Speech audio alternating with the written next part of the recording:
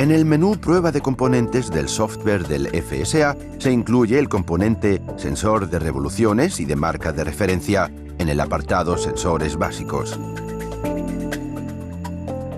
Para comprobar un componente hay que aplicar las puntas de medición azul y amarilla del canal 1 al componente.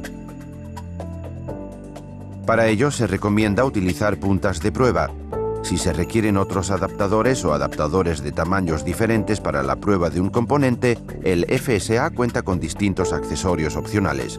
Las indicaciones para la conexión de estos accesorios se pueden consultar en el menú de ayuda.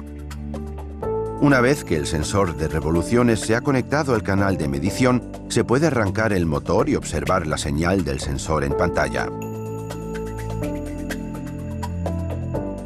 Es posible detener la señal para realizar otras evaluaciones. A continuación están disponibles las siguientes opciones. F4 para medir la señal mediante cursor horizontal y vertical.